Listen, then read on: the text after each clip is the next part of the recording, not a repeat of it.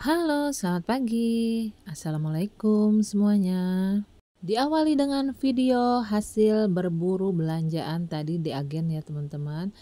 Ini sih keinginan anak saya ya, yang kecil teman-teman. Jadi tadi tuh rencananya kan mau pergi nyerpis ini ya, motor. Cuman uh, di perjalanan itu sudah sampai di pom bensin Cipacung ya teman-teman ya tiba-tiba ada kilat gitu teman-teman di di langit ya. Ada kilat goresan kilat gitu kan. Terus emang cuacanya udah mendung-mendung sahdu gitu ya teman-teman. Jadi dari kejauhan itu dilihat eh, arah Pandeglang itu gelap sekali gitu ya.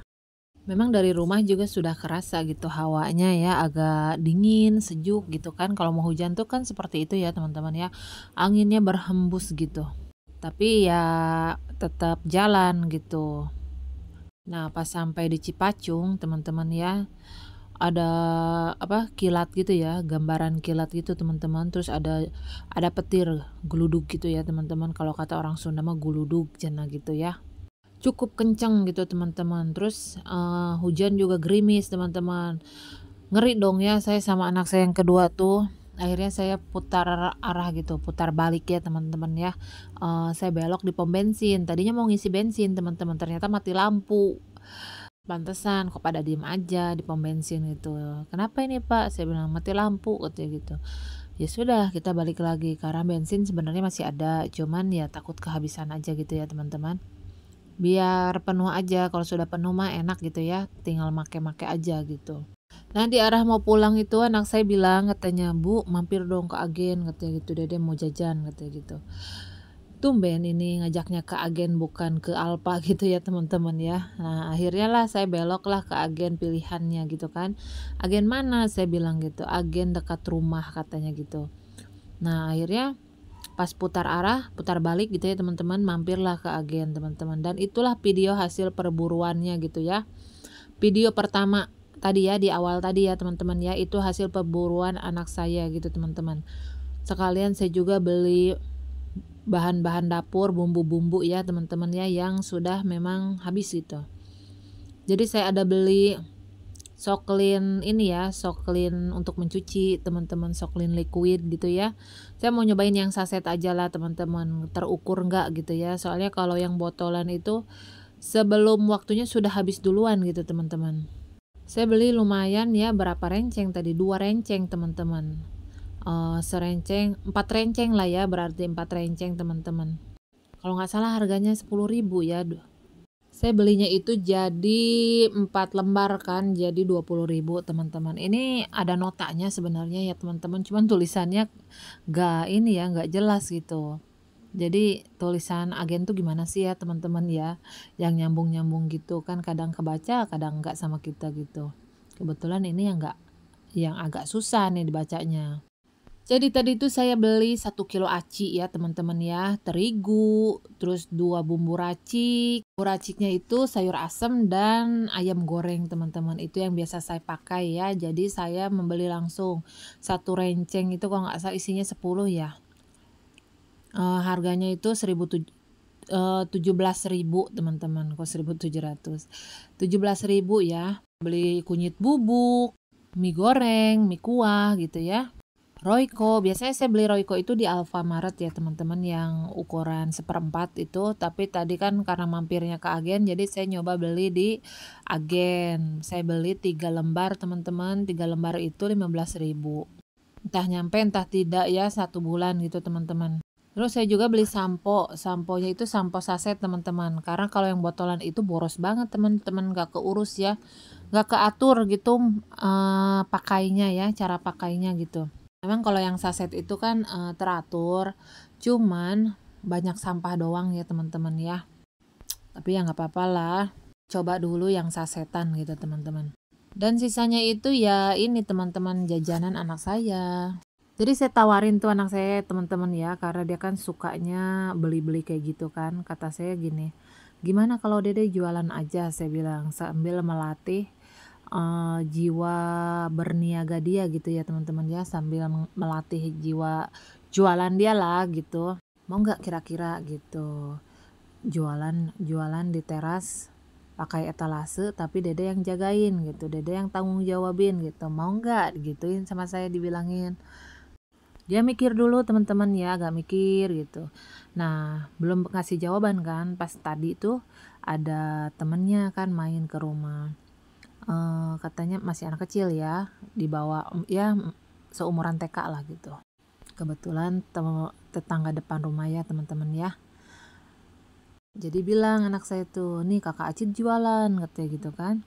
Jualan apa? Diliatin lah uh, makanannya tadi kan. Wow, aku mau beli katanya gitu. Nah, itu kan ada yang beli satu orang ya teman-teman.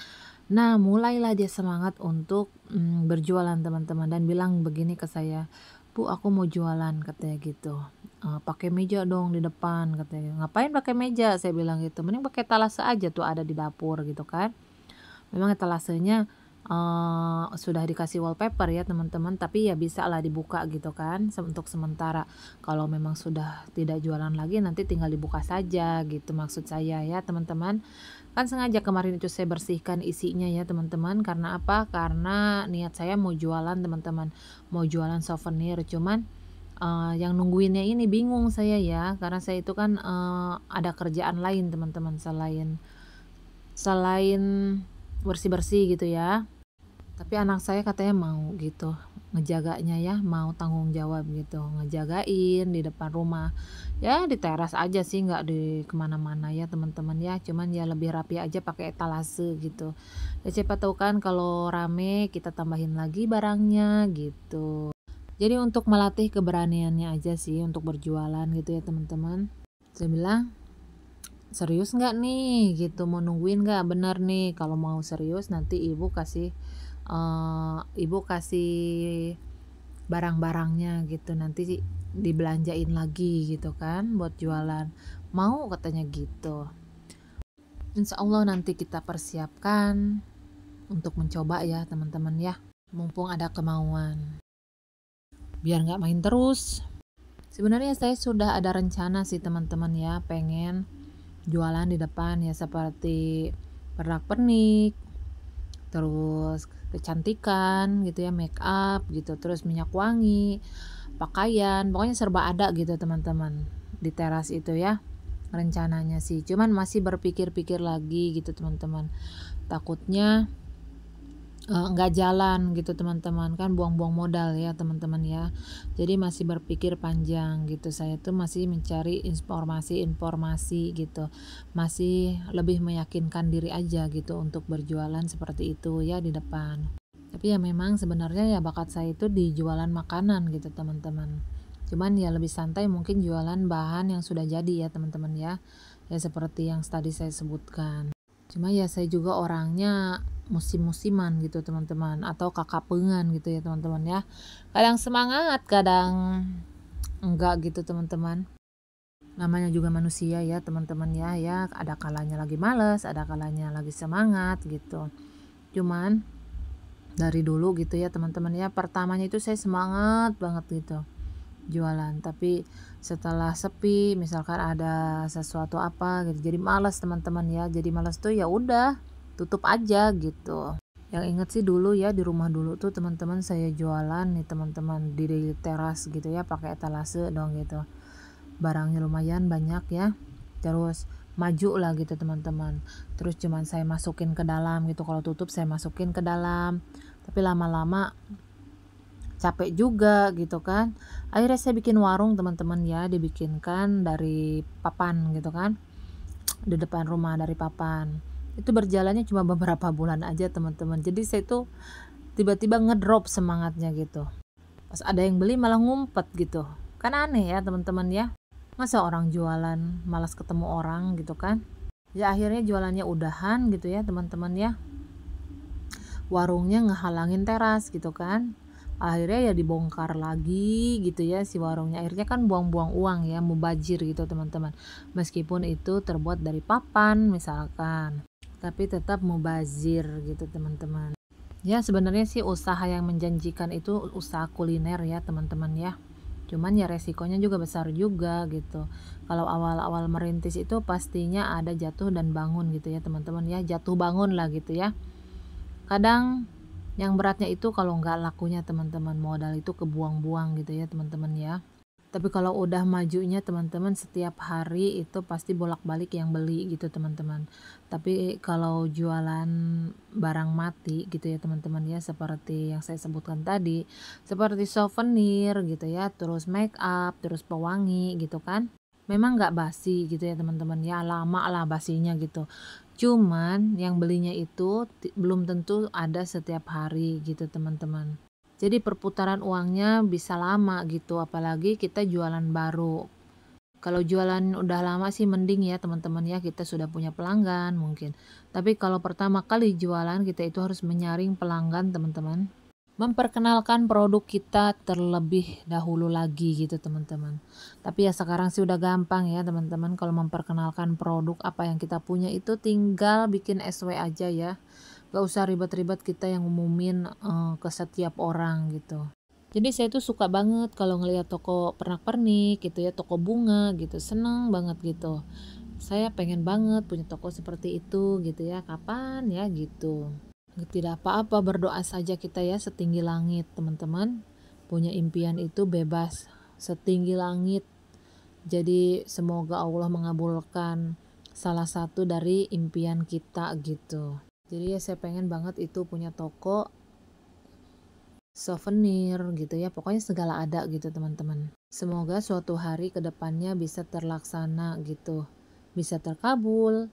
Tapi ya nggak usah yang ngontrak-ngontrak juga teman-teman. Saya pengennya dari rumah aja usahanya gitu ya. Jadi nggak bepergian dari rumah gitu teman-teman. Jadi tetap bisa berkarya meskipun di rumah. Tetap bisa menghasilkan uang meskipun hanya di rumah saja gitu teman-teman saking keenakannya cerita sampai lupa sama video ya teman-teman ya mohon maaf ya teman-teman jadi di pagi hari ini saya membersihkan, merapihkan teras teman-teman. Jadi nih kalau saya mau jualan nanti di sini teman-teman di depan gerbang pas tapi ya bukan di uh, sini. Kalau di sini itu khusus parkir motor aja.